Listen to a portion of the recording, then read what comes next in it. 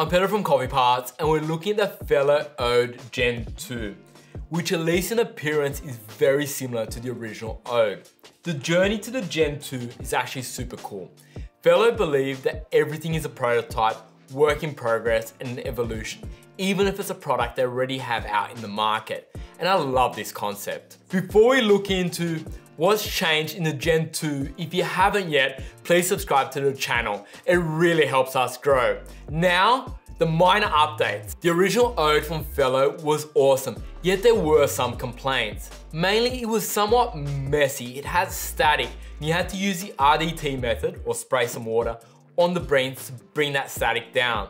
You couldn't really grind fine enough for the lighter roasts, and there was this annoying beep at the end of grinding. So first things first, what has changed?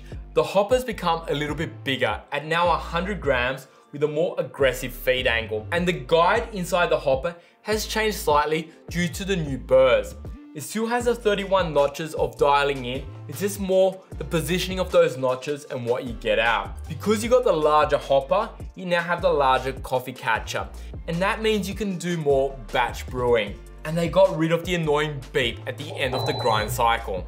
When it comes to burrs, Fellow went on an insane journey to produce their own burrs in-house after testing every OEM burr and not being truly happy.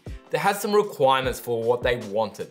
Firstly, they wanted to be able to grind down to 2 to 300 microns, basically grind finer. They wanted to have quantitative improvements in the particle size distribution and most importantly, they wanted the burrs to be backward compatible with the original Ode, not to leave any customers hanging.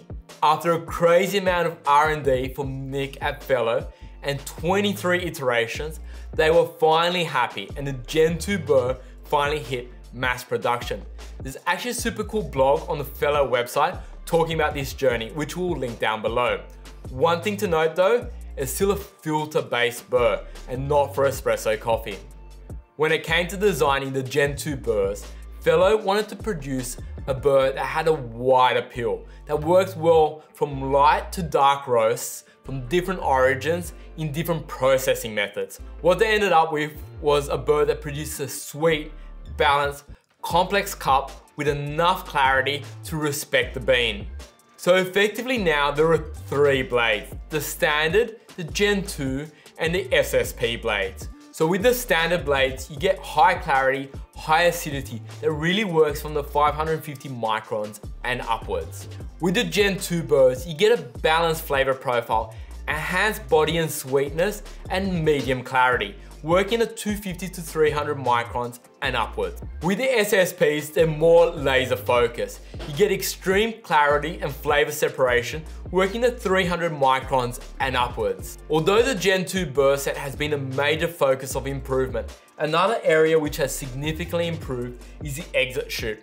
It now has very low static and very low retention. They've achieved this with the use of an ionizer, which works while the grinder is activated. Now this technology has come from anti-static hair dryers and morphed its way into coffee.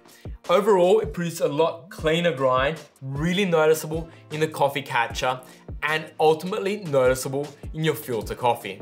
So the big question remains, which grinder is best to get, the original or the Gen 2?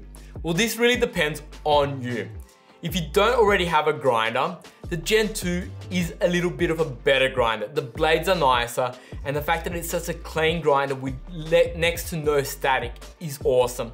And a few little features like the bigger hopper are nice and the no beep is awesome. But it does come at a price premium over the Gen 1.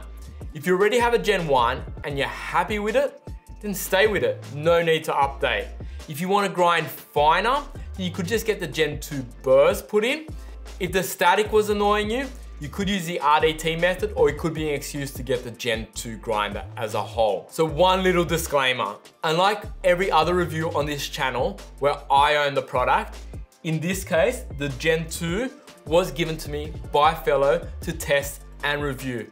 But I'd like to now know your thoughts. Do you prefer the original or do you really like the upgrades of the Gen 2? Let me know in the comments below. And like always, if this video has brought you value, hit that thumbs up. If you haven't yet, please subscribe. Thank you and see you on the next video.